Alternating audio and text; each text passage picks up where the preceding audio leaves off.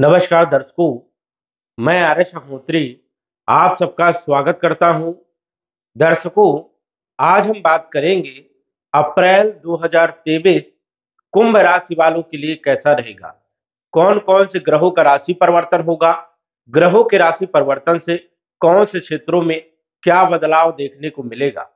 हम बात करेंगे आपके संपूर्ण क्षेत्रों के बारे में। जैसे अप्रैल के महीने में आपका स्वास्थ्य कैसा रहेगा? धन की स्थिति कैसी रहेगी? नौकरी के लिए समय कैसा रहेगा? व्यापार के लिए समय कैसा रहेगा? शिक्षा, संतान, प्रेम विवाह, वैवाहिक जीवन कंपटीशन भाग्य, लाभ, हानि, विदेश यात्रा आदि हम सभी के बारे में विस्तार से जानेंगे। तो आइए जानते हैं। सबसे पहले यह समझिए कि यह फलादेश चंद्र राशि पर आधारित है।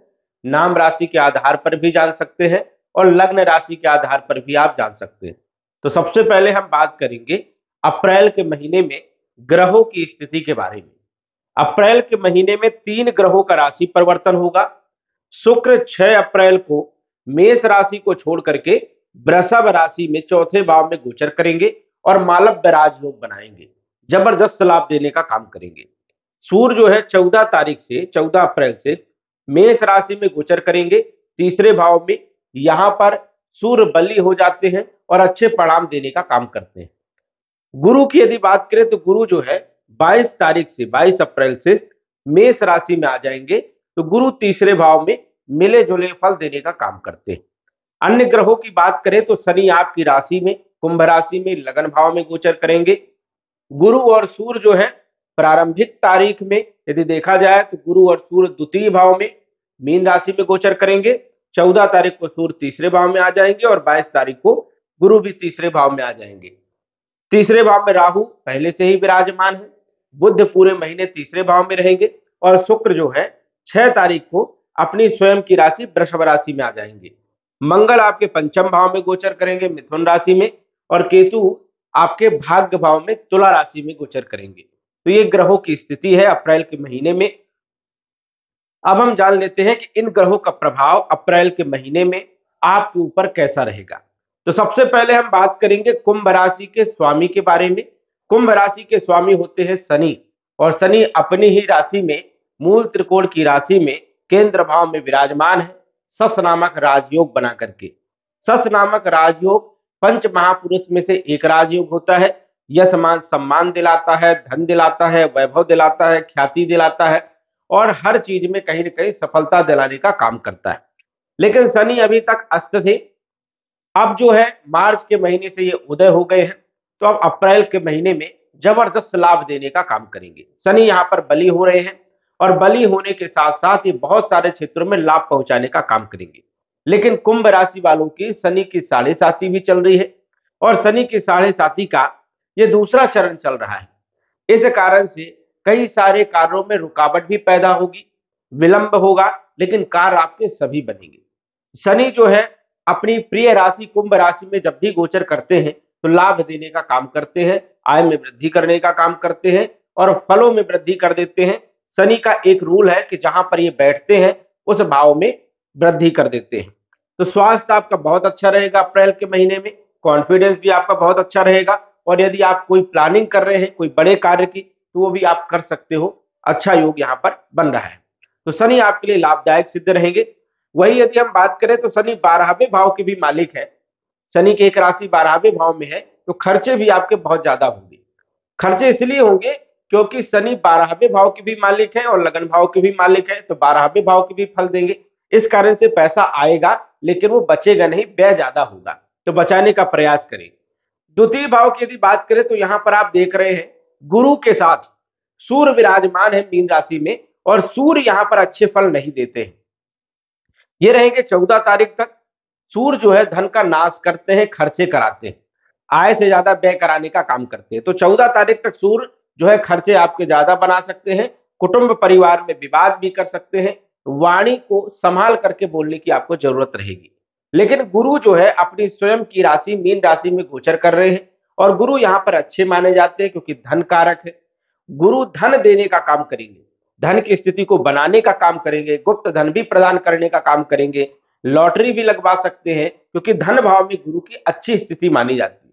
लेकिन गुरु जो है सूर्य के साथ ये अस्त हो जाएँगे एक अप्रैल से और तीन मई तक गुरु भी अस्त रहेंगे तो उतने अच्छे फल देखने को नहीं मिलेंगे। गुरु यहाँ पर लगभग एक वर्ष से अच्छे फल देते आ रहे थे। लेकिन अब अस्त होने के कारण उतने अच्छे फल देखने को नहीं मिलेंगे। यही गुरु जो है 22 तारीख को राशि परिवर्तन करेंगे और तीसरे भाव में आ जाएँगे। तीसरे भाव में मित्र के घर में आएँगे, मेष राशि में, लेकिन राहु के साथ विराजमान होंगे तो चांडाल दोष भी बनेगा और चांडाल दोष के साथ साथ गुरु जो है, अस्त रहेंगे। इस कारण से गुरु के फल उतने अच्छे आपको देखने को नहीं मिलेंगे। गुरु आपके लाभ के भी मालिक है। तो कहीं ना कहीं लाभ के लिए संघर्ष करवाएँगे, मेहनत करवाएँगे, उसके बाद फल देने का काम करेंगे। तो गुरु का आप उपाय कर सकते हो, गुरु के बीज मंत्र का जप कर सकते हो तो ये स्थितियाँ यहाँ पर गुरु की बन रही है। इसके बाद यदि हम बात करें पराक्रम भाव के मालिक के बारे में, तीसरे भाव के स्वामी मंगल है, क्योंकि यहाँ पर एक नंबर लिखा है, एक नंबर मेष राशि जिसके स्वामी मंगल। और मंगल आपके दसम भाव के भी मालिक है। वृश्चिक राशि मंगल की होती है तो मेष राशि और वृश्चिक राशि के स्वामी मंगल बैठे हुए हैं पंचम भाव में केंद्र त्रिकोण राजयोग बना करके। ज़बरदस्त लाभ देने का काम करेंगे मंगल, अप्रैल के महीने में नौकरी में प्रमोशन दिला सकते हैं, व्यापार में वृद्धि करा सकते हैं, व्यवसाय की स्थिति भी आपकी बहुत अच्छी रहेगी, वही बल पराक्रम में वृद्धि करने का काम करेंगे। मंगल जो है, राशि परिवर्तन भी कर रहे हैं, मंगल बुद्ध की राशि में बैठे हैं और बुध मंगल की राशि में बैठे हैं तो ये राशि परिवर्तन राजयोग भी बन गया। तो दो दो राजयोग मंगल यहाँ पर बना रहे हैं। तो मंगल यहाँ पर शिक्षा भी अच्छी बनाने का काम करेंगे, संतान का योग बनाने का काम करेंगे और प्रेम विवाह में भी सफलता दिलाने का काम करेंगे। मंगल की चौथी दृष्टि अष्टम भाव में ससुराल पक्ष के संबंधों को मधुर बनाने का काम करेंगे, गुप्त धन प्रदान करने का काम करेंगे और लॉटरी भी जो है लग सकती है, ऐसी संभावनाएँ जो है बन रही है। मंगल की जो सप्तम दृष्टि है, वो लाभ भाव में होगी। तो लाभ देने का काम करेंगे, आय में वृद्धि करने का काम करेंगे, आर्थिक स्थिति को मज़बूत करने का काम करेंगे। मंगल की अष्टम दृष्टि बारहवें भाव में रहेगी तो व्यय भी कराएँगे, खर्चे भी करवाएँगे, कोई बड़ी बड़ी चीज़ें आप क्रय कर सकते हो, खरीद सकते हो, मकान खरीद सकते हो, प्रॉपर्टी में पैसा इन्वेस्ट कर सकते हो, या वाहन खरीद सकते हो, ऐसे बड़ा अमाउंट आप कहीं ना कहीं इन्वेस्ट कर सकते हैं, ऐसी संभावनाएँ जो है बन रही है। वही विदेश के लिए भी अच्छे हैं, विदेश में जाकर के आप जो है घूमने जा सकते हैं सेटलमेंट के लिए प्रयास कर सकते हैं, नौकरी के लिए जा सकते हैं तो ऐसी संभावनाएँ जो है मंगल बनाने का काम कर रहे हैं। तो मंगल आपके पराक्रम के मालिक है और आपके कर्म के मालिक है, कार्य क्षेत्र के मालिक है, ज़बरदस्त लाभ देने का काम करेंगे पूरे महीने। इसके बाद यदि हम बात करें आपके चौथे भाव के मालिक के बारे में, चौथे भाव के मालिक आपके बनते हैं शुक्र और शुक्र जो है आपके भाग्य के भी मालिक है, दोनों ही भावों के मालिक है। दो नंबर वृषभ राशि सात नंबर तुला राशि। दोनों के ही मालिक शुक्र, तीसरे भाव में गोचर कर रहे हैं और तीसरे भाव में शुक्र का गोचर अच्छा नहीं माना जाता है, लेकिन ये ज़्यादा दिन तक नहीं रहेंगे, छह अप्रैल तक रहेंगे। तो छह अप्रैल तक थोड़ी परेशानियाँ पैदा करेंगे, जैसे आप भूमि भवन प्रॉपर्टी का कोई सौदा करते हैं तो उसमें रुकावट पैदा करने का काम करेंगे, अन्य कार्यों में भी कहीं ना कहीं जो है रुकावट पैदा करने का काम करेंगे, लेकिन 6 अप्रैल के बाद ये अपनी ही राशि में आ जाएँगे, वृषभ राशि में। केंद्र भाव में गोचर करेंगे तो पंच महापुरुष में से एक राजयोग बनेगा, मालव्य नामक राजयोग। और मालव्य राजयोग जो होता है, ये भौतिक सुखों में वृद्धि करने का काम करता है। कहीं ना कहीं सुखों में वृद्धि करेगा, धन की स्थिति को बनाने का काम करेगा, यश, मान, सम्मान देने का काम करेगा, आर्थिक स्थिति मज़बूत रहेगी, नौकरी वालों के लिए ज़बरदस्त लाभ देने का काम करेगा, जो लोग व्यापार कर रहे हैं, उनको भी ज़बरदस्त लाभ देने का काम करेगा।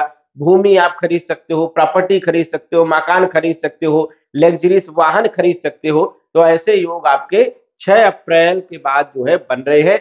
ज़बरदस्त लाभ देने का काम यहाँ पर शुक्र करेंगे। शुक्र सुखों को भरपूर मात्रा में प्रदान करने का काम करेंगे, कहीं ना कहीं अचानक धन भी प्राप्त करवाने का काम करेंगे।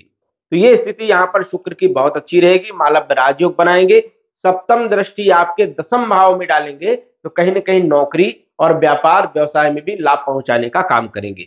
शुक्र आपके भाग्य के मालिक है तो भाग्य में भी वृद्धि करने का काम करेंगे, आय में वृद्धि करेंगे, आर्थिक स्थिति को मज़बूत करने का काम करेंगे और केतु शुक्र का सपोर्ट करेंगे तो और ज़्यादा लाभ देखने को यहाँ पर मिलेंगे। तो शुक्र की स्थिति भी आपकी जन्म पत्रिका में, गोचर कुंडली में बहुत अच्छी है, ज़बरदस्त लाभ देने का काम करेंगे। इसके बाद हम बात करेंगे पंचम भाव के मालिक के बारे में। पंचम भाव के जो मालिक है, वो आपके बुद्ध है, क्योंकि यहाँ पर तीन नंबर मिथुन राशि, जिसके स्वामी बुद्ध है। बुद्ध छह नंबर के भी स्वामी है, कन्या राशि के स्वामी। तो बुद्ध आपके पंचमेश भी है, अष्टमेश भी है और गोचर कर रहे हैं तीसरे भाव में। वैसे तो बुद्ध का गोचर तीसरे भाव में अच्छा माना जाता है, क्योंकि यहाँ पर काल पुरुष की कुंडली में बुद्ध का ये पक्का भाव माना जाता है। इस कारण से बुद्ध तीसरे भाव में अच्छे परिणाम देने का काम करते हैं।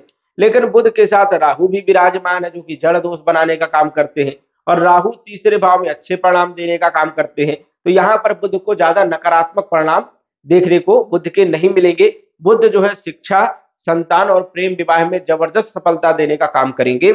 और अष्टम भाव के मालिक है। अष्टम भाव के मालिक है। बुद्ध की स्थिति जो है बहुत अच्छी है। इस कारण से गुप्त धन भी प्रदान कर सकते हैं। कहीं ना कहीं से आपको बड़ा धन भी अचानक प्राप्त हो सकता है। ऐसी संभावनाएँ हैं। बुद्ध की सप्तम दृष्टि भाग्य भाव में होने से भाग्य में वृद्धि करने का भी काम करेंगे। तो बुद्ध भी आपके लिए बहुत अच्छे हैं। शिक्षा, संतान, प्रेम विवाह में भी सफलता दिलाएँगे और कहीं ना कहीं गुप्त धन भी देने का काम करेंगे। वही यदि हम बात करें आपके छठे भाव के मालिक के बारे में, छठे भाव के मालिक चंद्रमा है और चंद्रमा का फलादेश संभव नहीं होता है, क्योंकि सवा दो दिन में राशि परिवर्तन कर जाते हैं। लेकिन गुरु की दृष्टि यहाँ पर पड़ेगी 22 अप्रैल 2023 तक। तो ये समझ जाइए कि रोगों को दूर करेंगे ऋणों को समाप्त करेंगे और कंपटीशन में भी कहीं ना कहीं सफलता दिलाने का काम करेंगे। लेकिन उतने अच्छे परिणाम देखने को नहीं मिलेंगे क्योंकि गुरु भी जो है, अस्त रहने वाले हैं। बात करें आपके वैवाहिक जीवन के बारे में। वैवाहिक जीवन के मालिक आपके सूर्य हैं और सूर्य जो है, धन भाव में गोचर कर रहे हैं चौदह तारीख तक। लेकिन चौदह तारीख तक सूर्य का गोचर अच्छा नहीं माना जाता है। द्वितीय भाव में धन देते हैं, लेकिन धन को नुकसान भी करते हैं, खर्चे भी खूब करवाते हैं। और कुटुंब परिवार में विवाद भी करवा देते हैं। वाणी के द्वारा शत्रु भी पैदा कर देते हैं। तो इस कारण से सूर्य जो है आपके लिए चौदह तारीख तक ठीक नहीं है, लेकिन चौदह तारीख के बाद जब अपनी उच्च राशि में, मेष राशि में गोचर करेंगे तो ज़बरदस्त लाभ देने का काम करेंगे। हालाँकि राहु के साथ सूर्य सूर्य ग्रहण दोष बनेगा, लेकिन सूर्य उच्च राशि में जब गोचर करेंगे तो ये ग्रहण दोष कोई प्रभावशील नहीं होगा, प्रभावी नहीं होगा, और सूर्य यहाँ पर अच्छे फल देने का काम करते हैं। तीसरे भाव में, छठे भाव में, दसम भाव में और एकादश भाव में। इन भाव में सूर्य जो है बली हो जाते हैं और अपनी उच्च राशि में गोचर करेंगे तो राहु कुछ नहीं बिगाड़ पाएगा। ज़बरदस्त लाभ देने का काम करेंगे। विवाह का योग बनेगा, वैवाहिक जीवन आपका बहुत अच्छा रहेगा। पार्टनरशिप में भी लाभ देने का काम करेंगे। दैनिक आय में भी वृद्धि करने का काम यहाँ पर सूर्य करने वाले लेकिन सूर्य चौदह अप्रैल के बाद आपको लाभ देने का काम करेंगे। इसके बाद हमने अष्टम के बारे में बात किया। नवम के बारे में बात किया हमने, मंगल के बारे में, दसम भाव के बारे में बात किया। लाभ के मालिक गुरु है, धन भाव में बैठे हैं, लाभ आपको होता रहेगा, लेकिन थोड़ा सा मेहनत आपको इस बार करना पड़ेगा, क्योंकि अस्त रहेंगे गुरु।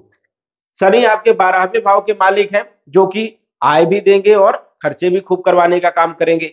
हल्का फुल्का आपके पैरों में दर्द हो सकता है, मानसिक टेंशन हो सकता है, ये समस्याएँ भी देने का काम शनि करेंगे, लेकिन बहुत सारे क्षेत्रों में शनि आपको ज़बरदस्त लाभ देने का काम करेंगे।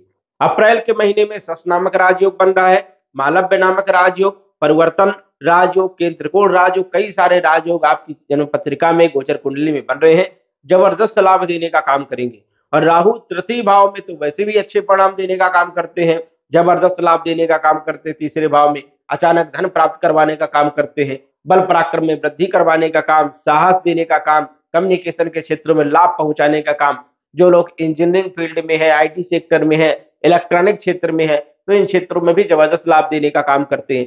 सोशल मीडिया से जुड़े हुए काम यदि कर रहे हो तो भी राहु यहाँ पर ज़बरदस्त लाभ देने का काम करते हैं। तो दर्शकों ये गोचर फलादेश है चंद्र राशि के आधार पर इसे जो है अप्लाई किया गया है। यदि आप अपनी जन्म कुंडली के बारे में जानना चाहते हैं विश्लेषण करवाना चाहते हैं तो दिए गए व्हाट्सएप नंबर से संपर्क करके कुंडली विश्लेषण कर, करवा करके सटीक जानकारी आप प्राप्त कर सकते हैं। तो दर्शकों आज बस इतना ही धन्यवाद। यदि आप अपनी कुंडली का विश्लेषण घर बैठे करवाना चाहते हैं तो दिए गए व्हाट्सएप नंबर से संपर्क करें। साधारण फ़ीस जमा करके आप अपने कुंडली का विश्लेषण फ़ोन के माध्यम से घर बैठे ही करवा सकते हैं और जान सकते हैं अपने भूत, भविष्य और वर्तमान के बारे में। धन्यवाद। WhatsApp number nine four seven nine eight nine three